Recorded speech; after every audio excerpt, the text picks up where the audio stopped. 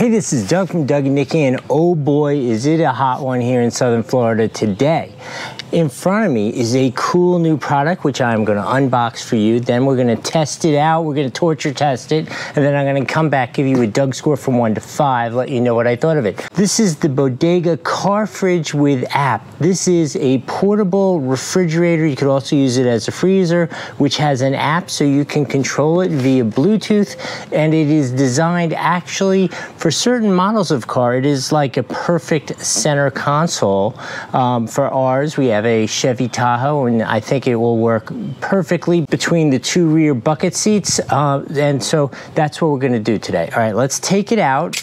And then I'm going to, we are going to the beach today. So I am going to actually take this, install it in that black Chevy Tahoe.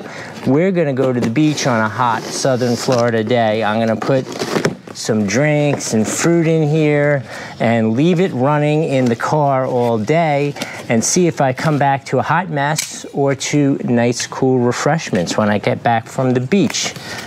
This is, uh, oh, I can tell already. This is if you were going to permanently install it somewhere, whether it be in your car or I guess you could actually, a boat might be really good use for it because it's uh, 12 volt DC. Um, this would be a mounting plate which has tabs on it so it is not permanently locked in, but it snaps it in um, so it's safe and not going to move. But at any time, you just hit the tabs, you can pop it out, take it out either to put it somewhere else, take it portable, or if you wanted to take it out and really clean it, that kind of thing. Whew, this thing's cool looking.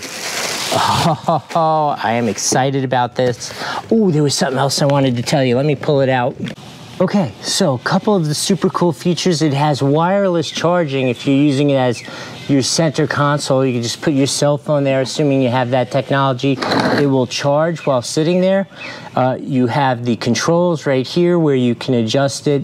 You can adjust the temperature, all that kind of stuff. Connect to the app. Here is another USB charging port. How cool is this? Because obviously it's designed to be a center console in a car. Here's where your nine quart refrigerated area is.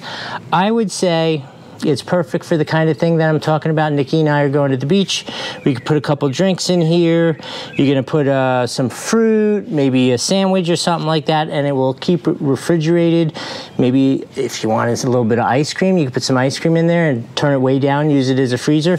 This is definitely like a creature comfort kind of thing. This is not like a van life, you're gonna use this as your main refrigerator. This is just like a really cool, you get in your car at the end of the day and pull out a couple really cold sodas or drinks or adult beverages if you want to do that. In any case, here's what's, what I'm going to do. I'm going to install it in the car.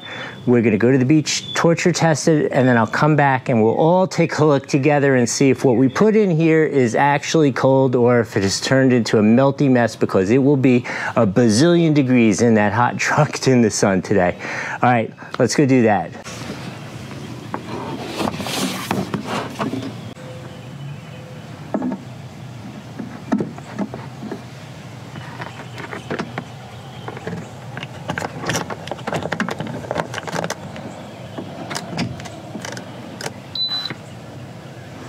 Just so you can hear how loud it is, I'm putting my microphone right up against the fan. It is definitely, uh, I'd say, average quiet as these things go. It is certainly not loud in any way, shape, or form. It's not silent either, but totally reasonable for what this is. Obviously, that's going to be in freezer mode. We want it to be, we're going to do nice refrigerated beverages, so we're going to keep it uh, four degrees above freezing um, and we'll set up the app so you can see what that's like. Again, this is what it looks like just right here in the back of our Tahoe in a quick install to go to the uh, beach. Okay, we got a couple waters, a couple sodas. Let me show you what that looks like inside. Water, water, water, couple sodas. Okay, so that's what that looks like inside the unit itself. This is actually, I'd say it's perfectly designed for six pack. I should get one more thing and then you could put some food on the top and ooh, I could already feel it's getting cool in here. That's really pretty impressive. Who is it hot out? One more thing, I'm gonna take my cell phone, which is at 50 50% power, put it here for the trip there. Oh, look, it just went into charge mode. How cool is that? All right, I'll let you know how far this goes from 50% on the way to the beach. Oh, look at that. So we can adjust the temperature in the fridge.